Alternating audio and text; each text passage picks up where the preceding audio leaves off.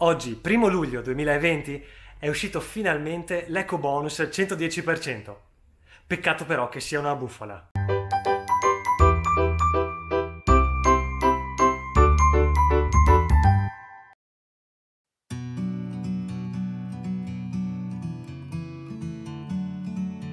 Non volevo essere così duro nella parte iniziale del video, però effettivamente che è iniziato il 110% oggi, primo luglio 2020, è una bufala. Infatti non è una bufala il 110% di per sé, ma è una bufala il fatto che sia iniziato oggi, primo luglio, come tanto promesso da tutti quanti. Perché? Perché mancano ancora le linee guida da parte delle agenzie delle entrate, ma ancora di più mancano i decreti attuativi da parte del governo per poter attuare tutto quello che è stato scritto nel decreto. Nel frattempo però sono usciti diversi contributi e aiuti per gli italiani, sono usciti 3 miliardi per l'Alitalia o meglio per la nuova compagnia che forse prenderà il posto dell'Alitalia sono usciti i contributi per le bici elettriche, sono usciti i contributi per i nonni, per coloro che non hanno avuto la possibilità di avere una babysit. Allora io dico, va bene aiutare le famiglie, però i nonni tengono i loro nipotini per amore, non per soldi.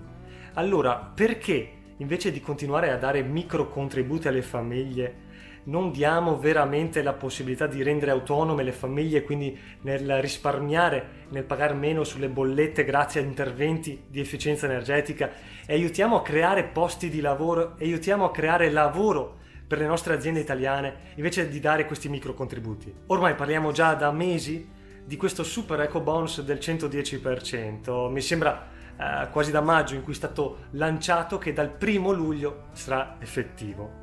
Peccato che però non si sia avverrato nulla di questo, bloccando ovviamente le famiglie nel loro sogno di mettere mano alla loro casa e bloccando anche migliaia di aziende che operano in questo settore. Allora oggi voglio darti il mio punto di vista, che è solamente il mio pensiero sul perché al primo luglio non siamo ancora pronti per applicare questo eco bonus del 110%. Um, non vorrei trovare per forza della mala fede in tutto questo, però l'idea che mi sono fatto è la seguente. Da una parte vedo che ritardare l'applicabilità del 110% permette allo Stato di non partire con i lavori già quest'anno. Mi spiego perché.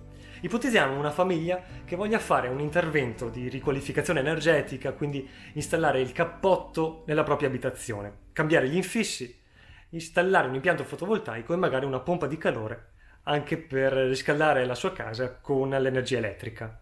Eh, siamo al primo luglio, probabilmente fino a metà fine luglio non uscirà nulla.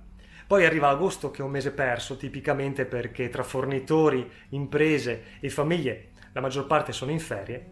Si partirà a settembre, però sappiamo bene che alcuni lavori edili, come quelli del cappotto e dei serramenti, non possono essere fatti in pieno inverno, nella maggior parte dei casi. Significa che da novembre a febbraio tutto sarà fermo.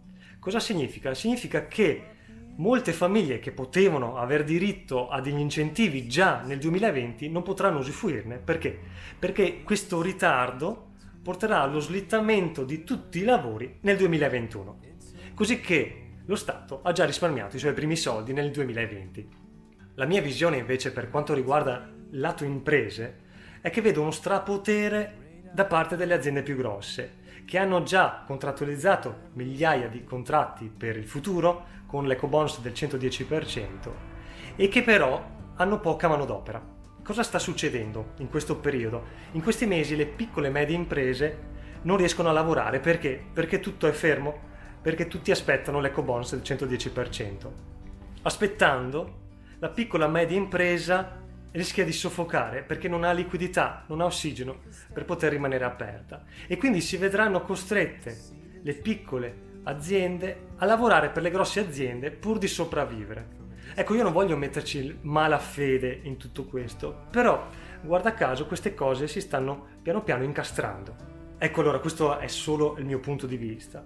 Ecco che allora le persone di buon senso avrebbero preparato un pacchetto chiamato 110%, avrebbero messo in fila le regole e le procedure per realizzarlo e poi lo avrebbero reso pubblico ai cittadini, in modo che tutti potessero applicarlo. Invece in Italia cosa è successo? È stato lanciato come un sasso il 110% senza sapere nemmeno minimamente come realizzarlo e siamo qui ancora fermi al primo luglio aspettando che qualcuno ci dica cosa fare. Mentre paradossalmente giornali e telegiornali da oggi dicono che il 110% è effettivamente partito.